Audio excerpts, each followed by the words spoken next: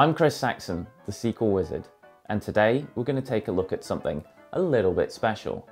I'm going to change the value of a row without issuing any DML whatsoever. No inserts, no updates, and no deletes. Just one select statement and the value will change. So let's get started. I have here a little one row, one column table with a little message in it. Hello world. What I'm going to do is just by issuing a select statement, change the value that's returned by this query. Now, I'm sure you're pretty skeptical and think I've got something going on in the background. So to prove there isn't, I'm the only session in the database. It's just me. We can see that it's still got the same value. If we look at the table in the schema browser, we'll see that there's no code that refers to it. So we've just got the one column, no dependencies on it, and no triggers on this table. There's no code that refers to it. So here we go. Ready? One, two, three, and yeah! We've changed the value of the query just by issuing a select statement. That's pretty neat. Before we go on, let's just put the value back and save that.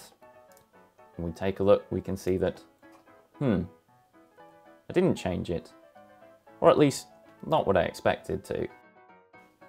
There's still no triggers on this table, and there's no other sessions in the database. So what's going on here? I'm sure you've realised that I'm not using magic really. What I'm doing is using a new feature of Oracle 12c. That's temporal validity. Let's take a look. When I created the magic table, I also defined a magic period on it. That created these hidden columns, magic start and magic end. Now, these don't appear when you issue a select star, but you can refer to them explicitly as I've done here. Let's take a look. So we can see we've got magic start and magic end. Now I also use this DBMS flashback archive package to set the valid time to current. This means we only see the rows where the current date is between these start and end values. If we set it to all, we'll see a bit better what's going on. And we query it now, you can see I've actually got three rows in the table. My first row, which was valid for 30 seconds, my second for another 30 seconds, my final row which was valid from a few moments ago up until some point tomorrow. So we can use this flashback archive package to show the currently active rows or all the rows in the table. So if we put it back to current, we can see we get just the currently active row because these dates are around the current date. Now we can also use Flashback Archive to see the data as it existed at a point in time, either in the past or in the future, using this as of syntax, like this. So if we execute that, and we'll see that we get back my first row, because that was valid three minutes ago from the point in time I ran my as of statement.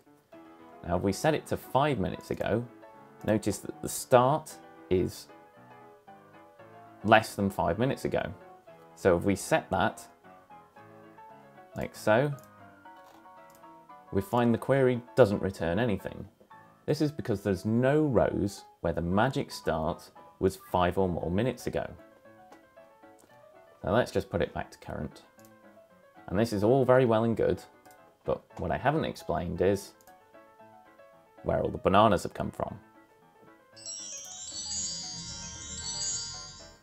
That was the magically changing row trick. We saw how I used temporal validity change the value returned by a query without having to issue any DML whatsoever. For more information about temporal validity and to find out where all those bananas came from, stay tuned for the magically changing row behind the curtain episode. See you next time.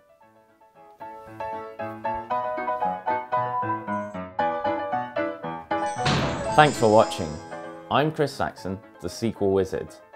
Subscribe to my YouTube channel to get future updates on more SQL magic. I'll see you next time.